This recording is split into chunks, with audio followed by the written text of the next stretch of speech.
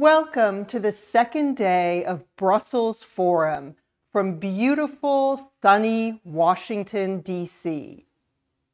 Yesterday, the forum began with the NATO, NATO Leaders Summit and NATO 2030 at Brussels Forum. The day centered around how NATO must adapt to prepare for the world in 2030. Today, and for the rest of Brussels Forum, we will imagine how we can adapt democracy to thrive in the decades to come. How can we best defend our democracies against autocratic advances? What is the future of multilateralism? How can we foster resilient societies in the digital age? And how should we prepare for the next global pandemic? Brussels Forum will also focus on how the transatlantic allies can deal with a resurgent Russia and a rising China. Transatlantic Trends, a project of GMF and the Bertelsmann Foundation, polls public opinion on both sides of the Atlantic. The most recent results, released just last week, are fascinating and I encourage you to read the full report. I would like to highlight just one finding here. There is a clear transatlantic consensus for a tougher approach toward China, especially on human rights, cybersecurity, and climate change. At this past weekend's G7 summit, we saw leaders agree on initiatives to counter Chinese influence. President Biden said that those initiatives would promote democratic values and not, quote, an autocratic lack of values. Are we seeing evidence of the ability of our transatlantic democracies to deliver on key global challenges? The Brussels Forum agenda will provoke thought and spark our imagination to find solutions to the tough challenges of our time. And the Brussels Forum stage will feature an abundance of impressive speakers. We began yesterday with NATO Secretary General Stoltenberg. Today, we will begin with U.S. Vice President Harris. On Friday, we will conclude Brussels Forum with USAID Administrator Power and Belgian Deputy Prime Minister Wilmès. Brussels Forum actually began last week with the 11th edition of the Young Professionals Summit and our Transatlantic Inclusive Leadership Network. These leaders met throughout last week and now will bring their vital perspectives as leaders of the next generation to the Brussels Forum conversation. I encourage you all to join the conversation online using hashtag Brussels Forum on social media. Before we begin today's program, I want to give an enthusiastic shout out to the dynamic duo of Nicola Leitner and Louise Langeby, the talented leaders of GMF's Brussels Forum team, and all of my GMF colleagues whose work informs Brussels Forum and who help Nicola and Louise make the magic happen. Just as nations need allies, we at GMF need partners to make that magic happen and to bring Brussels Forum to you every year. It is my pleasure to thank our founding partners, Daimler and the Ministry of Foreign Affairs of Belgium, our strategic partner, NATO, our forum partners, Amazon, Deloitte, and Google, our university partners, who enable us to include Generation Z in this transatlantic forum, the University of Nevada at Reno, Prairie View A&M University, Tuskegee University, and the University of Leuven. A final thank you to all of our associate, supporting, knowledge, and media partners. I am delighted that all of you have joined us for this exciting edition of Brussels Forum, and I am delighted to pass the baton to my wonderful colleague in Brussels, Ian Lesser. Ian, over to you. Thank you, Karen. Good afternoon from Brussels and our continuing conversation around the theme of reimagining democracy at Brussels Forum. We had a great start yesterday, as Karen said, out at NATO, uh, and we're going to get to continue that conversation today with leaders from government, from business, from civil society, from both sides of the Atlantic, and from around the world. And to open today's conversation, we are especially honored and delighted to have with us uh, Vice President of the United States, Kamala Harris, who's going to join us from Washington. Madam Vice President, thank you so much for being with us. We look forward to your thoughts. Thank you, Ian Lesser, for your kind introduction, and thank you to Dr. Karen Donfried for your leadership. President Joe Biden and I look forward to having you join our administration very soon. The German Marshall Fund of the United States was founded on one simple idea that the United States and Europe are stronger together.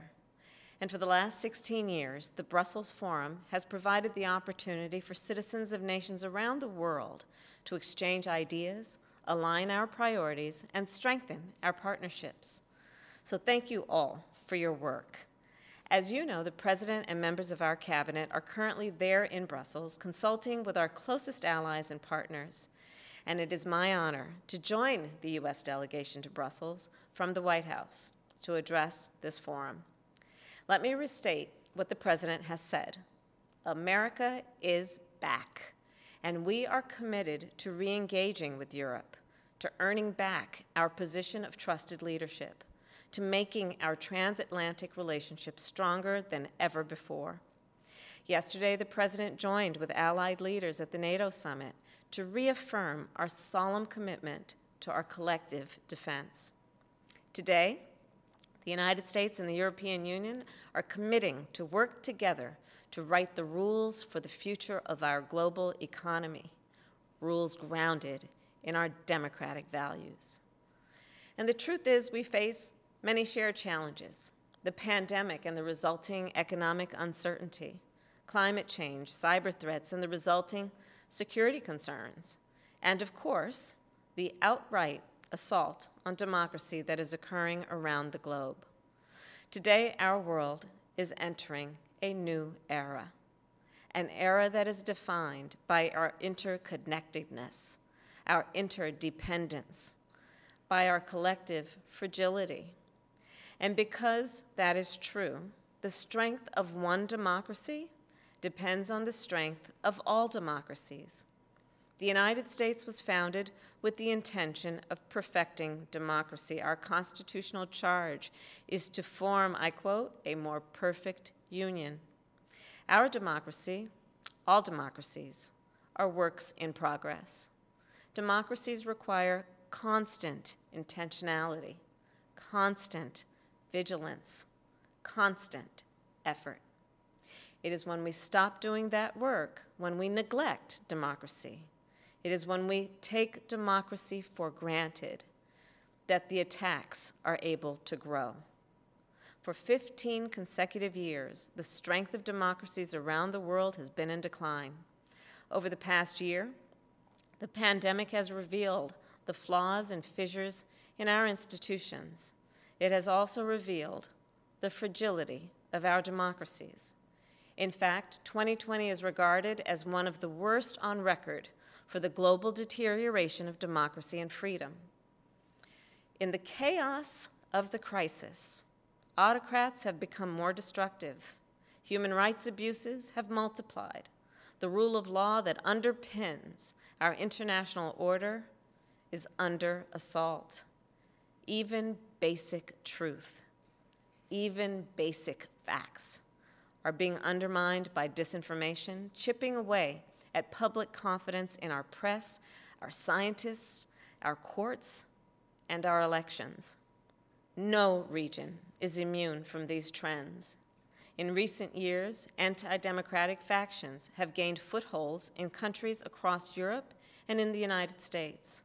And I will never forget the horror and the heartbreak of January 6, 2021, when our United States Capitol, a beacon of democracy for so many, came under siege by a violent mob who refused to accept the results of a free and fair election. It is not enough to say we cannot let something like that ever happen again. We must commit and recommit our democratic principles and lead by example. We must reinforce our democratic institutions to deliver real results and instill trust. There are barriers that stand in the way of doing that. Corruption is one such barrier. Corruption causes the people to suffer. It stands in the way of progress. It stands in the way of hope. Corruption can keep people from going to the doctor, sending their children to school, opening a small business, getting a fair trial. Corruption corrodes public trust and drives away investment. It compels migration. It causes violence. And it cannot stand. This month, we announced that for the first time ever, our administration is designating the fight against corruption as a core U.S. national security interest. Together with our allies, civil society, and the private sector, the United States will prioritize the fight against corruption to preserve democracy. The fight against corruption is a fight won through accountability, through transparency. It is a fight won through strengthening the rule of law and also through the promotion of human rights. Our democracies cannot be sustained when people are denied their rights, their freedom, their dignity. We must reckon with the injustices of the past and confront those that still persist. And I'm talking about injustices that are experienced by women, by people of color, by people with disabilities, by LGBTQ people, by indigenous people.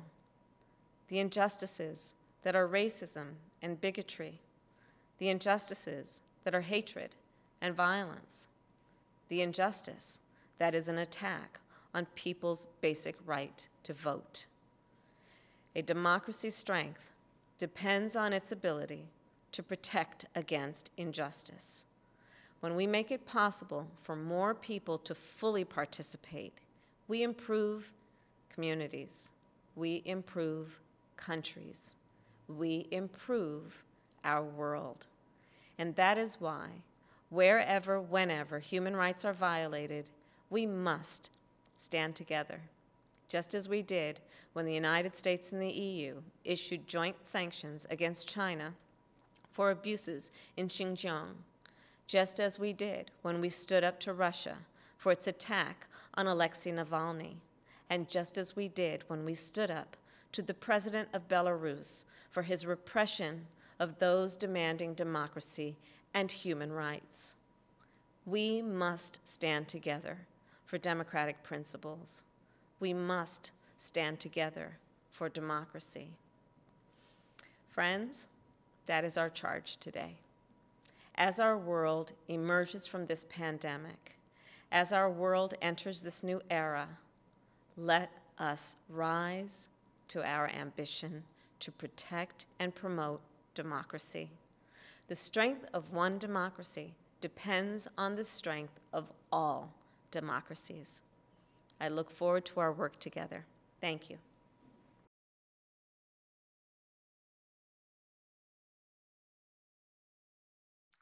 Thank you, Madam Vice President.